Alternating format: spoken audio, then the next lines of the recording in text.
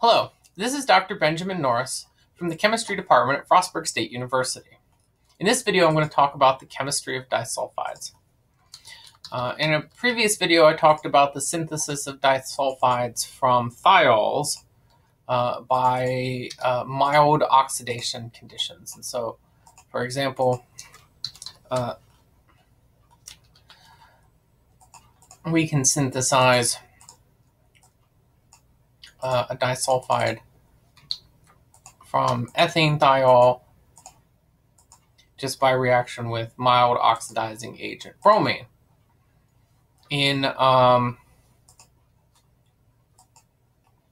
in the cellular world, the oxidizing agents uh, can be all kinds of things. Uh, and those include uh, various cofactors and, and whatnot. the ability of disulfides to form upon oxidation actually makes thiols a useful uh, reagent or useful protecting or protector or antioxidant from oxidizing damage. And one uh, such thiol that can protect against oxidation is glutathione. Glutathione is a tripeptide, and it's got this cysteine uh, amino acid in it with this sulfide or with this thiol functional group. And uh, we're actually just going to, to cheat and represent glutathione uh, with the, the, the, letters GSH. Um, but upon oxidation by a variety of things, reactive oxygen species, uh, other kinds of reagents, glutathione actually oxidizes to the sulfide, which I'm not going to, to draw, but we would represent GSSG. So the thiol and cysteine becomes a sulfide. In fact, cysteine as an amino acid is quite special in its ability to to form uh, disulfides, and there are a number of. Let's, here's cysteine. Let's get another one of you. There are a number of places in uh, living organisms where this disulfide by between two cysteine molecules is an important uh, structural feature and a really important uh, place for these uh, disulfide bonds or disulfide bridges is in the tertiary structure of proteins. So this is me uh, sketching out uh, really kind of lazy protein tertiary structure.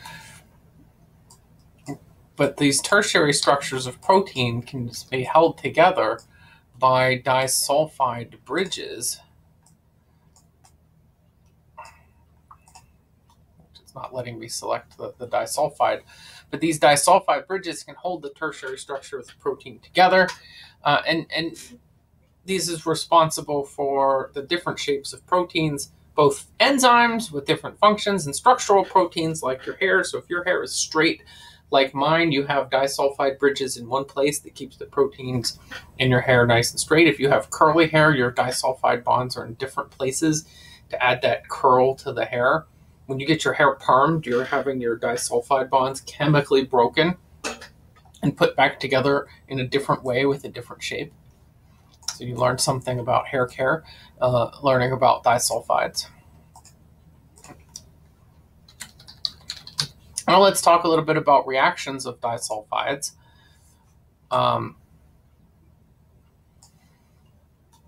in terms of reactions of disulfides, uh, one thing that they can do is be reduced. There are lots of reducing agents that will reduce a disulfide back to its corresponding thiols.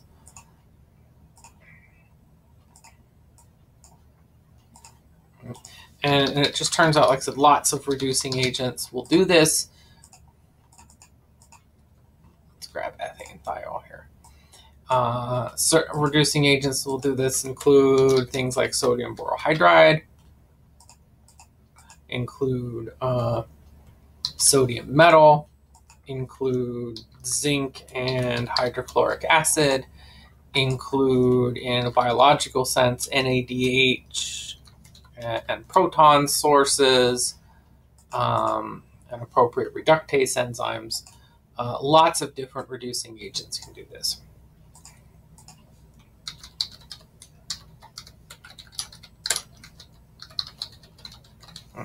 Disulfides are actually uh, pretty reasonable electrophiles, and in fact, we covered uh, in the I covered in a video on sulfides the uh, reactivity of disulfides with things like Grignard reagents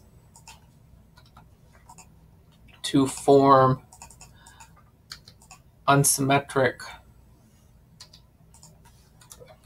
to form unsymmetric uh, sulfides. Other nucleophiles could work as well. Um, you could use amines, uh, and there's an important um, some important biochemical processes that use other uh, sulfides or thiols or, or thiolate anions. This concludes my uh, brief video on the chemistry of disulfides. They can be synthesized by oxidation, uh, reduced back to the thiols, or they can react as electrophiles with other kinds of nucleophiles. Thank you for watching.